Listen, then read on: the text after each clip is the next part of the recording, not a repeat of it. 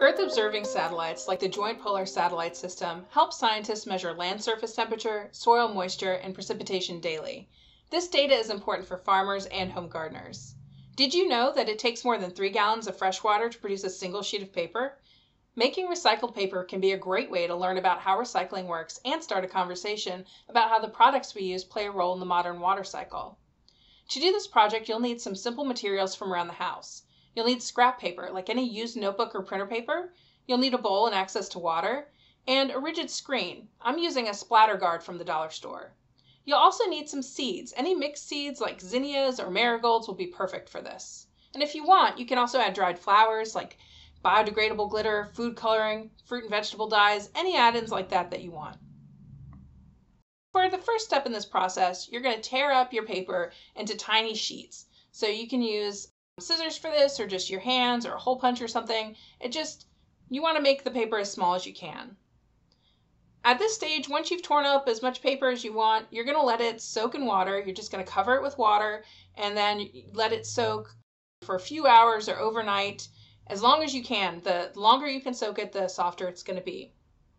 Once you feel like it's soft and you can kind of get in there and feel that, you are going to mash it up into a pulp. You can use a potato masher for this, or you can just use your hands.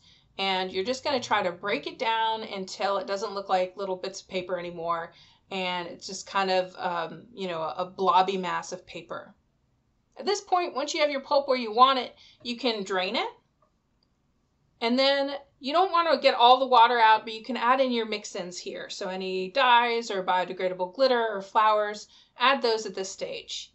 And then you're going to add in your seeds. And you want to make sure that you gently fold in your seeds, that you're not crushing them as you're adding them to your pulp. Now comes the fun part. You're going to get out that rigid screen that you have or splatter guard or some parchment paper and you're going to start to make the paper. And so to do that, you're going to take out the pulp and you're going to spread it over your area and try to smash it down until it becomes one cohesive sheet. This is how you're making your paper. You can shape it if you want to. You can even use cookie cutters at this stage. You just want to get it nice as flat and as dense as possible and try to squeeze out any water that's still in it as much as you can. You can even blot it with a paper towel at this stage if you have one available. And just try to get it smooth and the shape that you want because this is where it's going to dry in the shape. At this point, once you have it when you want it, you need to leave it alone.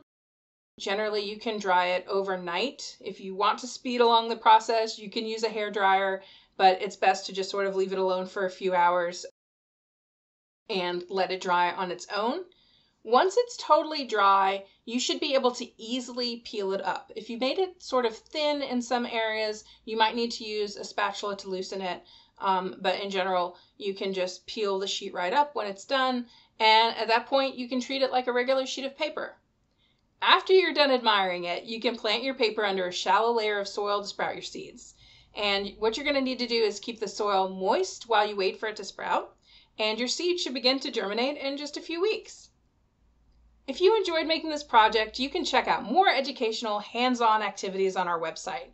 And make sure to follow Joint Polar Satellite System on social media so you can get updates on news, cool images, and other fun educational opportunities like this one.